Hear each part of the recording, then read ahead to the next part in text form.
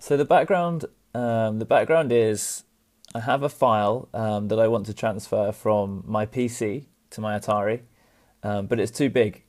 It won't fit on a single floppy disk, so I can't easily transfer it. Um, we need to split the file up into chunks, copy it across, and then reassemble it on the Atari ST. And this guide is going to show you how. Um, you'll need some software so firstly, you're going to need the Arj32 compression software for Windows, which I've downloaded from the web and unpacked. I'll put a link below for that.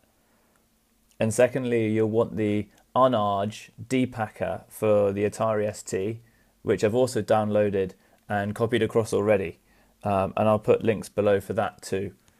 Um, so first, let's check that I've extracted Arj32 correctly. Um, I'll list out the files here, dir, there we go. And more specifically, let's list out just the executable files. So there you go. I've got arj32.exe here. That's what we need.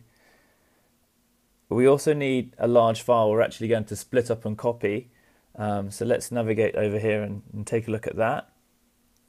So here you go large file.jpg and is about 3.5 megabytes, so much bigger than what we can fit on a floppy.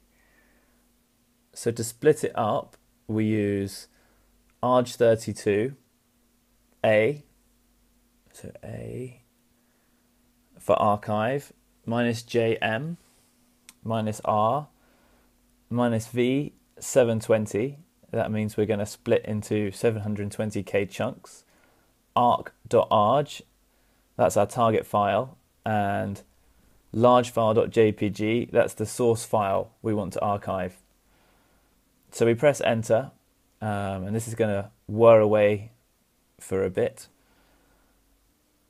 And after a while, it's going to prompt us to save each individual 720 kilobyte chunk. So we say yes, yes, yes, and we're done.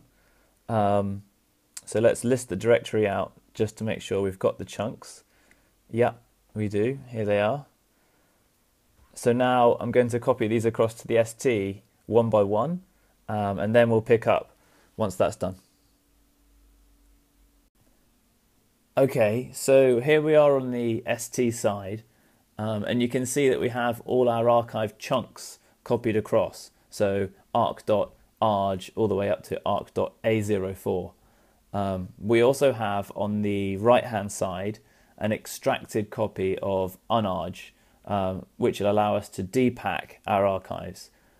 On older versions of TOS, you'll have to double click on unarj.ttp and type in the path to the archive file you want to extract. So in our case, that would be C files arc.arj. But on newer versions of TOS, you can just drag the .arj file onto the unarj.ttp program and the magic happens automatically. So since we're on TOS 2.06, let's do that. Uh, I'm going to click on arc.arj and drag it across, let go, um, and you can see that it's starting to unpack. So this takes a little while, so I'm going to speed up the video, and then once it's done, we can check that we've got our expected output.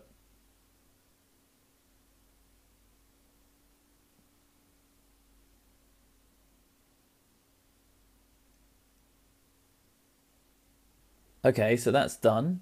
Press any key to continue. We'll do that. And you can see that we've got largefile.jpg. Let's go to File, Show Information, and you can see, yeah, it's 3.5 megabytes, exactly the expected size. Job done.